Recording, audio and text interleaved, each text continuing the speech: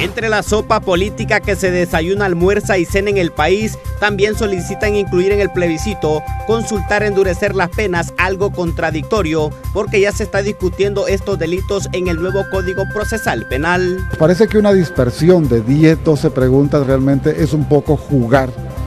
jugar con la voluntad, jugar con la inteligencia de los ciudadanos y de las ciudadanas de este país. Bueno, yo creo que sí, que realmente el legislador tiene la potestad de poder, de poder establecer conductas delictivas, de poder tipificar, de poder establecer penas, atenuarlas, endurecerlas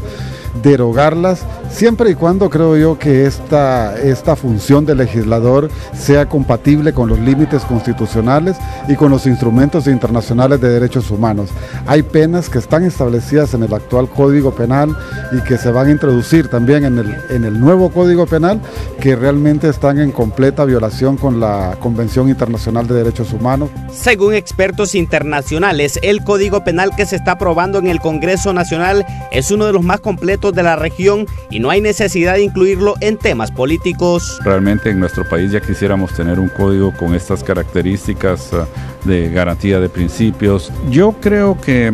el código lo que pasa es que está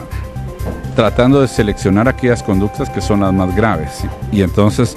tiene penas y sanciones que son fuertes porque mantiene todavía la pena perpetuidad,